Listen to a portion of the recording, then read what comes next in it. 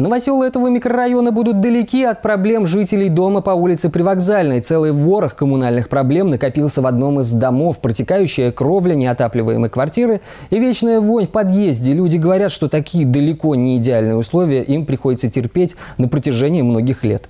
Жильцы не помнят, когда проводился капитальный ремонт. Коммуникация постепенно приходит в негодность. Жители дома уверяют, что чиновники и коммунальщики на это долго закрывали глаза. Достучаться до них все-таки удалось. Будут ли решены проблемы и как скоро, узнавал мой коллега Дмитрий Ковалев. Куртка, под ней свитер, а на ногах валенки. В одежде многие жильцы этого дома не только выходят на улицу, но даже спят в квартирах. Столбик термометра застыл на 17 градусах. Это на 2 ниже минимально допустимой нормы.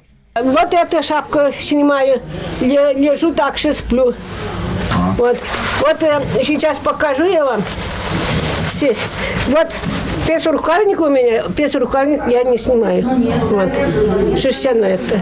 Иначе невозможно. Комнатная температура в доме стала ниже с приходом морозов. На холода жалуются даже те, кто установил в квартирах пластиковые окна. Батареи в помещениях, рассказывают жильцы, меняли недавно. Но толку никакого. Ремонта, говорят люди, требует и канализация. Из-за забитых труб в подъезде постоянно стоит невыносимый запах. Чтобы проветрить помещение, жильцам приходится каждый раз открывать уличную дверь. В подъезде, если зайти посмотреть, у нас все стены от пары, все мокрые. Окна у нас не утепленные, поэтому все окна у нас обледеневшие.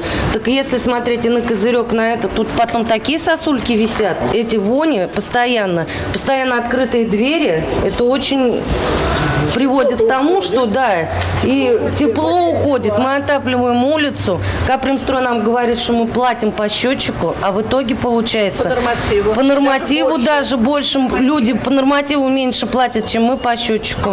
Чтобы хоть как-то защитить жильцов от канализационного пара, коммунальщики заделали щели в полу специальной пеной. Другого выхода из проблемы пока попросту не нашлось. Каждый год жильцы дома борются с дождевыми потопами. Кровля, говорят они, словно решето? В подъезде из-за постоянных подтеков и сырости образовалась плесень. Хозяева квартир уже боятся клеить дорогие обои. Со стен осыпается даже штукатурка. Каждую весну они держат на готове тазы, ведра и половые тряпки. Специально красили крышу, потолок, чтобы более-менее так аккуратно было, а толку от этого. Постоянно все протекает, специально снимал, когда топило. Как там все кругом это капало. Э, это показывал главный инженер. Он просто взял, посмотрел, так и сказал, иди своими проблемами. И за такую, в кавычках, роскошь люди отдают большие суммы. Только за двухкомнатную квартиру в месяц набегает до трех тысяч рублей. Откуда берутся такие счета, жильцы не понимают. Несколько лет назад здесь установили общедомовой прибор учета. Просим, требуем, чтобы вот этот э, счетчик, который стоит на тепло, снять на проверку и проверить работу э, этого счетчика. К сожалению, ничего не делают. То говорят, что насос нужно, э, значит, убрать, то насос надо включить то регулятор там заменить. В управляющей компании, которая обслуживает этот дом, все проблемы признают. Зданию, говорят, здесь необходим капитальный ремонт. От латания кровли до замены абсолютно всех коммуникаций. Сейчас они работают на пределе. После постоянных жалоб и писем в разные инстанции на помощь жильцам направили все ресурсы. Первоочередная задача – обогреть квартиры. Вся загвоздка в работе терморегулятора. Ситуация была следующая. Сначала некоторые квартиры говорили жарко э, и писали э, заявления, начинаем подстраивать подстраиваться под них, выясняется, что часть квартиры вообще замерзает, и не можем. То есть, э, прямо противоположное мнение. Собственно говоря, вот э, Домком это и признала, и на одном из э, совместных, совместных встреч мы приняли решение, что действительно мы теперь слушаем только лишь одно мнение, и пусть они внутри дома его выработают.